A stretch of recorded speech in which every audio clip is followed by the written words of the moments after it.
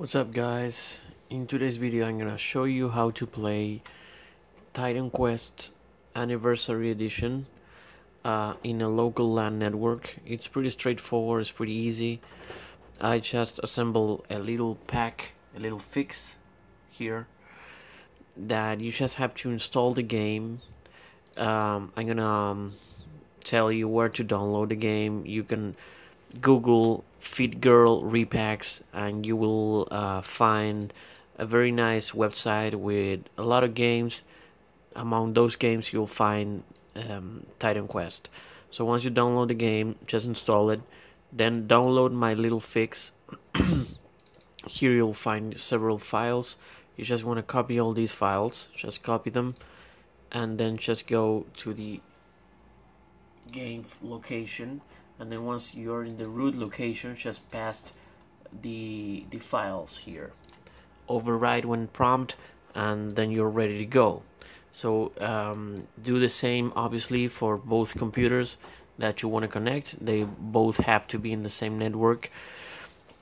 And once you have that just execute the game in both computers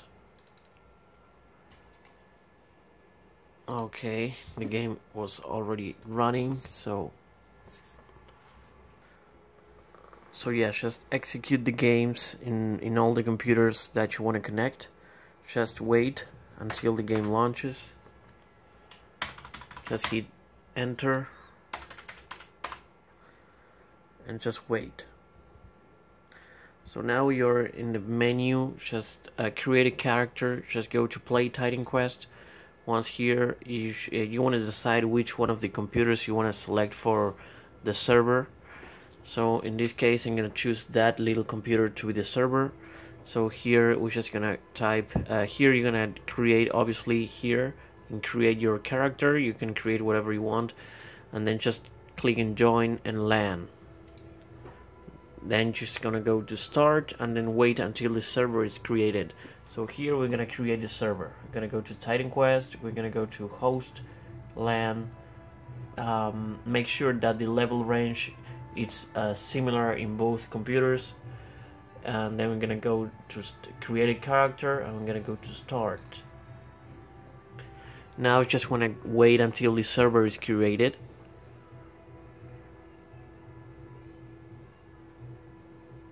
just wait for a little while and there you can see um, the server is already created. So now you should see in the other computer that a server will show up in case it doesn't. Just click refresh until it does and then uh, just go to start here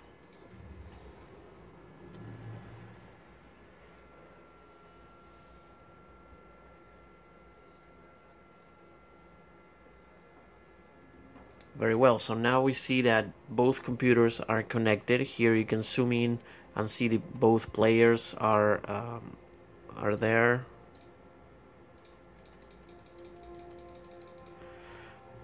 Let's just use the other one. And you can see that we are you're going to be able to play uh, in a local multiplayer. So I hope you like this little tutorial. It was very fast. It was very simple and see you in another videos. Bye.